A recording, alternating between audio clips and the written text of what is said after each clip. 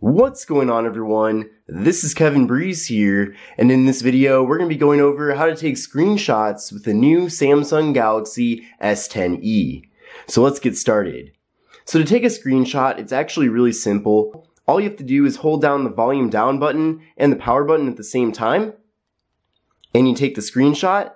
Then from there, you can crop the image really easily, and you can crop it in all different directions you can also access a cool pen feature here. So the pen actually has a bunch of different options for choosing the size and the color and even the thickness of the pen. So let's first try out this thicker pen off to the right. Of course, there's five different thicknesses here, so we'll make it a little thicker. And then you can also choose different colors. So we have some pre-selected colors on this palette here, but you can also go to this button on the side and pretty much access any color in the rainbow. And you can even toggle the lightness or darkness of that color. So you can add those different colors through the color picker. And then, so we'll just choose kind of this purple color for the demonstration here.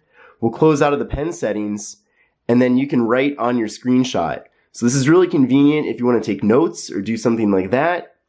Of course, for taking notes, maybe you wouldn't want to use that thicker pen. Maybe you'd want to use the pencil instead and maybe switch over to black as the color. So I'll write out note there. So that could be really useful, especially if maybe you're on a website or something and you screenshot part of the website and then you can add notes that way. That might be a way that you might want to use this feature to your advantage. Or of course, if you're just screenshotting like a picture within a website, then you can always use the cropping feature to just crop out that picture. Anytime that you want to revert from the changes that you've made, you can just tap on the undo button and it'll undo and redo if you choose to do that. And then at that point, once you're kind of happy with what you've created here, you can tap on share and save. So by tapping on share, it'll pull up a bunch of different sharing options. So there's sharing large files through the link sharing. You can play it on different devices using SmartView if you have devices that are compatible with that. And then of course you can share through a variety of different applications that are compatible with this feature. So there's just a ton of different options here. Now if you want to save this to your gallery, then you can just tap on save. Then from there you can go from your home screen.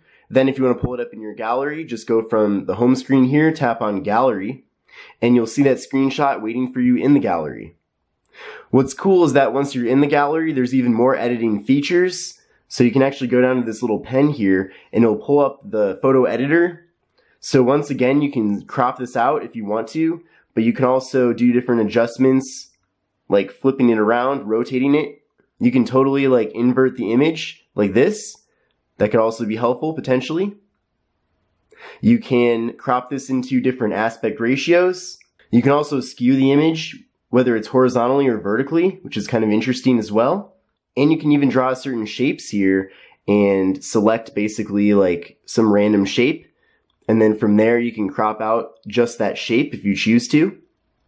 Digging deeper into here, there's other options such as adding different filters. So this is kind of like Instagram where you can add a bunch of filters here. These filters are different from the ones that you'd find on Instagram. So maybe you take a photo or you use one of these screenshots and you want to put it up on Instagram, but you can't find that certain type of filter on Instagram. Then you can just use one of these filters. You can also add certain stickers on top of your screenshot or whatever photo you have here. So you can add the date. You can resize that as well. And there's just so many different options. You can add text too. So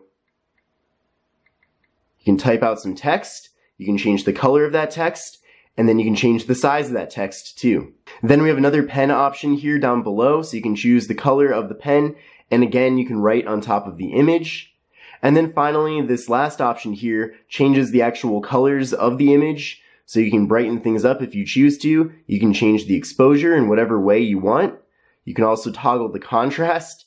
You can change the saturation as well, the hue, and the white balance. And then from there with the white balance, there's so many different options. There's auto, there's a daylight, cloudy, incandescent, fluorescent, and another option down at the end here that gives you even more customization.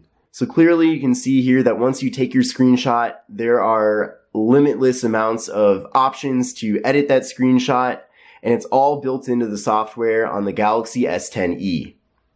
So I hope you enjoyed this video on how to take a screenshot with the Samsung Galaxy S10e. If you enjoyed it, then definitely give this video a thumbs up. If you have any other videos you'd like me to do about the device in my channel, definitely let me know down in the comment section below. And if you're looking to buy the Samsung Galaxy S10e, then take a look at my affiliate link in the video description as I'll take you over to where you can buy it on Amazon and where you can buy this specific model, which is the North American unlocked version of the device, which will work on all four major US carriers. But again, this is Kevin Breeze here. I hope you enjoyed this video, and I'll see you in the next one.